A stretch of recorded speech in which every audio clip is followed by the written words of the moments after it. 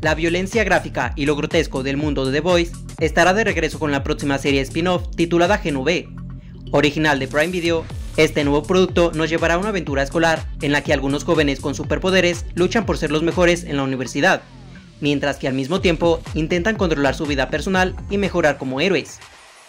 El instituto que nos presentarán es la Universidad Godolkin, una escuela de lucha contra el crimen y un lugar para que los jóvenes héroes aprendan a aprovechar sus habilidades para siempre.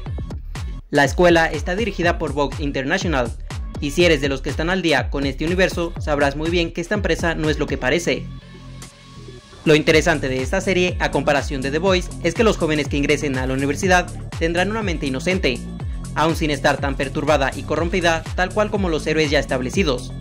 Aún así sabemos que esta etapa estudiantil está plagada de excesos, decisiones tontas y actitudes egoístas y desinteresadas.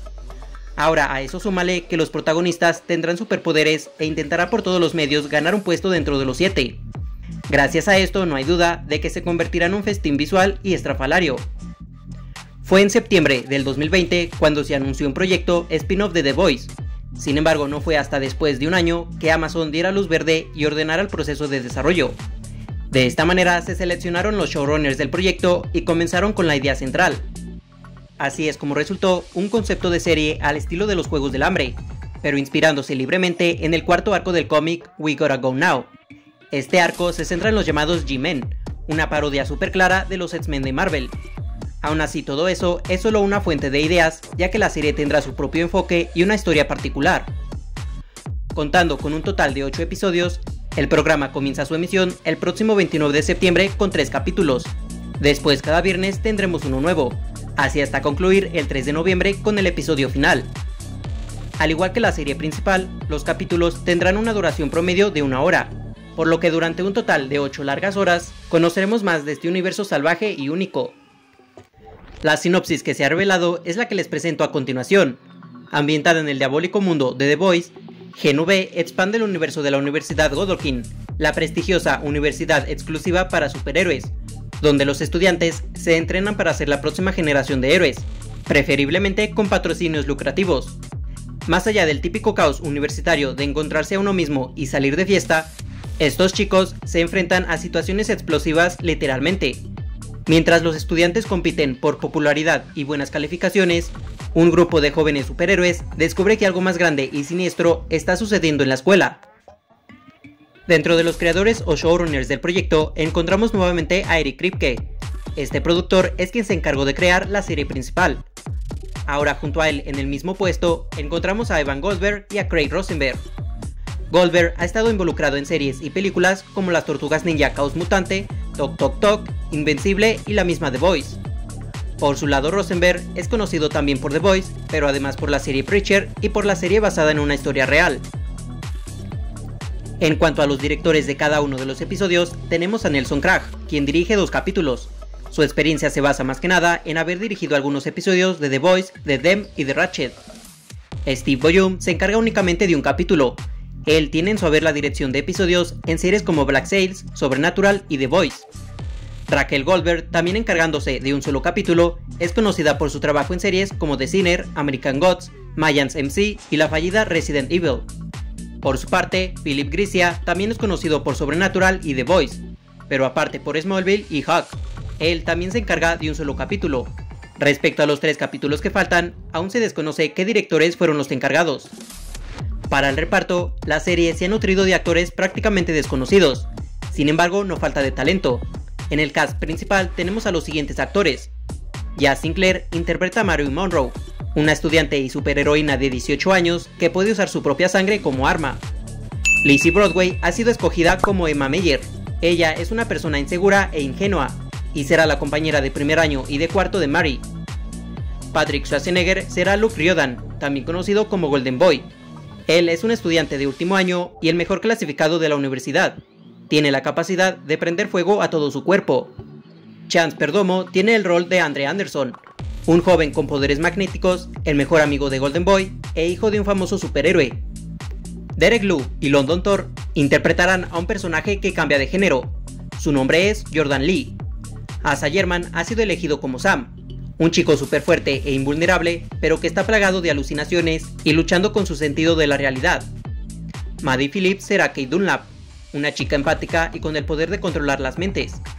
Shelly Cohn tiene el papel de Indira Shetty, un personaje con una posición única en la universidad, ya que no tiene poderes. Sin embargo, es una experta en psicología de superhéroes, lo que la hace muy valiosa y peligrosa para la escuela. Sean Patrick Thomas interpreta a Polarity, padre de André y administrador de la universidad. Este puesto lo usará para asegurarse de que su hijo se convierta en uno de los siete. Clancy Brown será el profesor Rick. Él por su parte querrá que Golden Boy sea uno de los siete. Y por último, Marco Pigosi será el doctor Edison Cardosa. Otros actores que forman parte son Alexander Calvert, Dan Baer, Shidhar Sharma, Robert Basoki, Jessica Clement, Jameson Kramer, Jason Reilly, Maria Nash y Derek Wilson. Además, se han confirmado cameos de Jessie T. Usher como A-Train, Colby Minifi como Ashley, Claudia Domit como Victoria Newman y Jensen Ackles como Soldier Boy. Para cerrar con el video, aquí les doy a conocer algunas críticas emitidas por medios especializados. Nick Shagger de Daily Beast ha comentado lo siguiente. Energizado por la misma creatividad arriesgada, agudos comentarios sociales y por el sentido del humor con clasificación R que su hermano mayor de televisión reconfirma que esta franquicia sigue siendo el único jugador consistentemente imaginativo del género del cómic.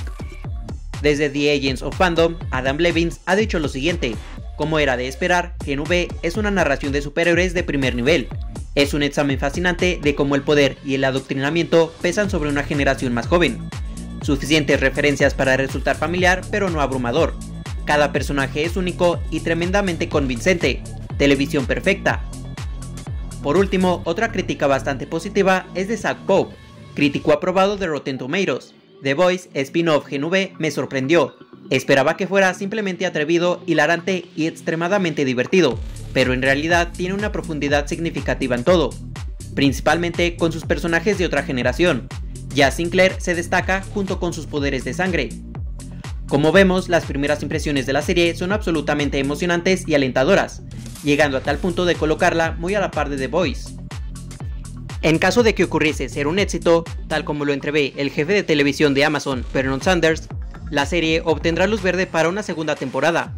Y es que además antes de que iniciara la huelga de escritores, Prime Video ya había hecho una sala de escritura para la nueva tanda de episodios. Así que en base a esto podemos estar seguros de que el estudio y los implicados querrán seguir expandiendo este universo. Solo queda esperar al estreno para saber si realmente será un éxito. Personalmente, yo creo que le irá muy bien, por el simple hecho de que a nosotros como espectadores nos gusta ver nuevos héroes o antihéroes con nuevos superpoderes que nos sorprendan. Pero además verlos usándolos para ocasiones inusuales y momentos divertidos es un plus para todos nosotros. Sin embargo, a pesar de esto, considero que jamás de los jamases podrá superar a su predecesora. Y esto simplemente es por el hecho de lo característico que son los personajes de Homelander y de The Butcher, sin mencionar a todos los demás que también son geniales a su manera. Bien, hemos llegado al final de este video. Déjame saber en un comentario cuáles son tus expectativas para esta serie GNV. ¿Crees que tenga personajes tan atrayentes como The Voice o se quedará muy por debajo en esa cuestión? Cualquier cosa que gustes comentar, con gusto lo estaré leyendo. Ahora sí aquí termino, pero antes te invito a suscribirte, darle me gusta y compartirlo. Además, síguenos en nuestras otras redes sociales. Aquí abajo estarán apareciendo los enlaces. Sin más que decir, te veo en una próxima ocasión. Hasta luego.